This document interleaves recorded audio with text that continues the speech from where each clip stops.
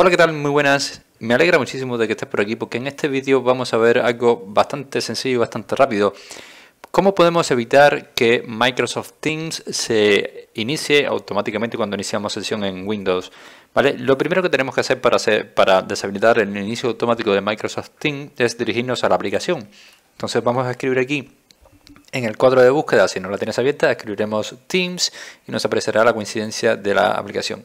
Una vez que estamos aquí dentro de la aplicación de Microsoft Teams, verás que tienes encima, del, al lado del logotipo de perfil, los tres punticos que son las configuraciones y los más ajustes y hacemos un clic sobre él y se nos abrirá este menú. Dentro de este menú veremos que tenemos configuración, hacemos un clic sobre él y directamente en la pestaña general verás que tienes un eh, apartado en el panel de la derecha donde pone sistema y aquí abajo tienes iniciar Team automáticamente. Esto lo vamos a desmarcar, lo dejamos así y ya tendríamos deshabilitado el inicio automático de Microsoft Teams en Windows 11. Espero que este eh, breve vídeo te haya ayudado. Si es así, te invito a que me dejes tu like, suscríbete a este canal y por supuesto nos vemos en un siguiente vídeo.